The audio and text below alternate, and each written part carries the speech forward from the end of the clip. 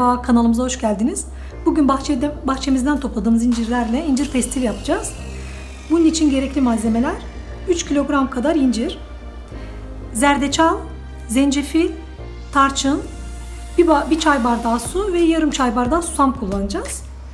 Ee, kabuklarını soyarak başlıyoruz. Kabuklarını soyuyoruz hızlı hızlı. Ağacımızdan fazla mahsul aldığımız zaman bunu değerlendirmek için pestil yapıp kışında tüketebiliyoruz. Çayın kahvenin yanına.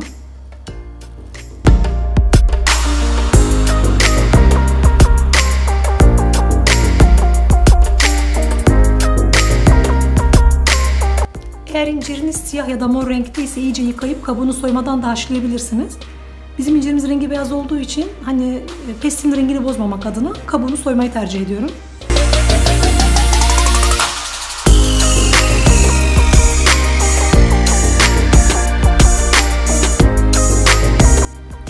Sağlıklı bir, bir yiyecek. Bir kere içerisinde şeker yok, zencefil, zerdeçal, susam gibi çok sağlıklı baharatlar var. Çocuklarınıza rahatlıkla verebilirsiniz. Çok sağlıklı bir atıştırmalık. Soyma işlemi bitince üzerine bir bardak su ekleyeceğim ve ocağa alacağım. İyice pişene kadar ocakta bırakacağız.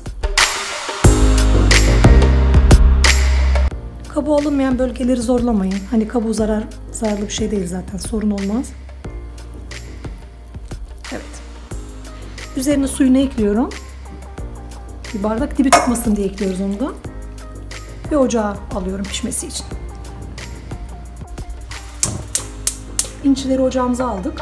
Kapağı kapalı bir şekilde iyice pişene kadar kaynatıyoruz.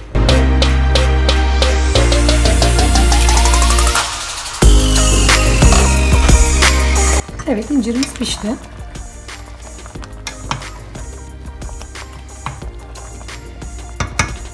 Mikserden geçiriyorum iyice. iyice ufalanması gerekiyor.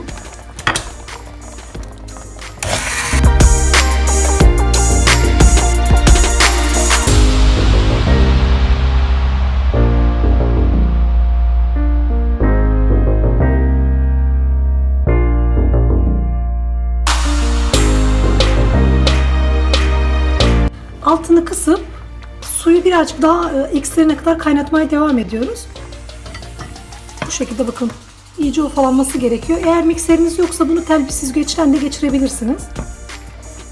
Bir 10 dakika daha kaynatalım.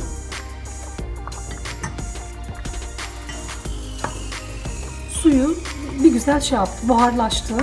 Şöyle bakın, muhallebi kıvamına geldi. Yeterli. İlk, ilk sıcağını atması için bırakıyorum. İçerisine katacağımız susamı kavurmak istiyorum. Siz hani isterseniz kavurmayabilirsiniz ama bence daha lezzetli oluyor. O yüzden kavuracağız.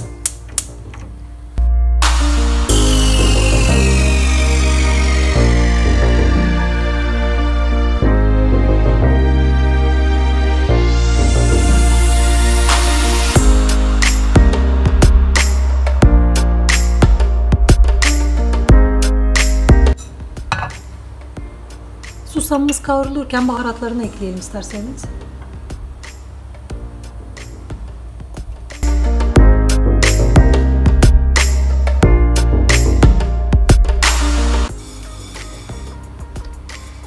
Yeterince kavruldu.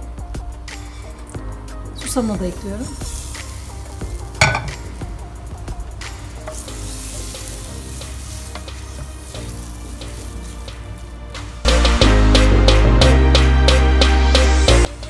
Kendiniz ayarlayabilirsiniz. Ben bundan iki fırın tepsisi kadar pestil elde edeceğim. Siz bunu daha kalın istiyorsanız bunu hani bir buçuk tepsi ya da bir büyük bir küçük tepsi şeklinde yapabilirsiniz. Kuruma süresini uzatmış olursunuz sadece.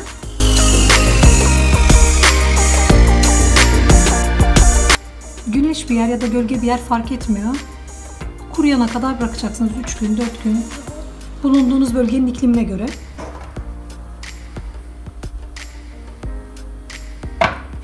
Bu şekilde iki tepsiye ayırmış oldum. 3-4 gün sonra tamamen kurumuş olacak zaten. Pestilimiz 5 gün geçti aradan. Bugün 5. gün. Tamamen kurumadan hafif böyle bakın dokunuzda hafif yumuşak olacak. Bu şekilde saracağım ve bir gün daha kurutacağım.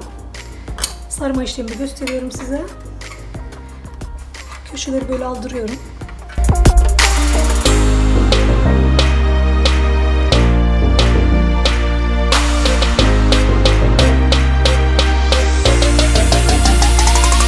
Kenar kısımları daha hızlı kurumuş. Orta kısmı biraz daha yumuşak kalmış.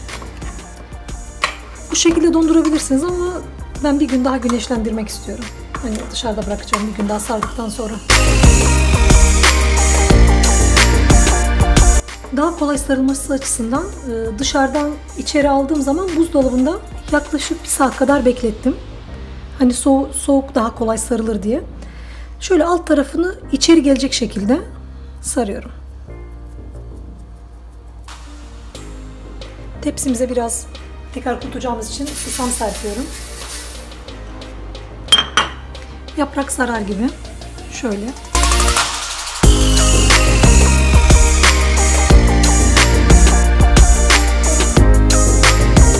Bunu bir tülbentin üzerine hani şeyin altına tülbent serip tepsinin altına bu şekilde de yaydırabilirsiniz. Bakın böyle böyle.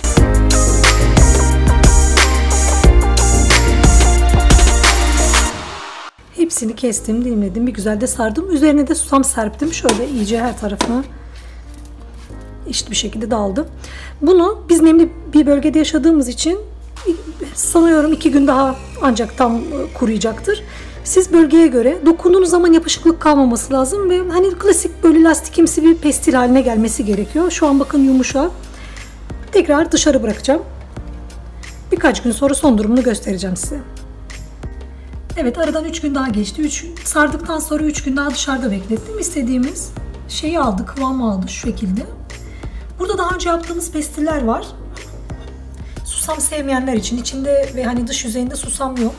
Şöyle bakın.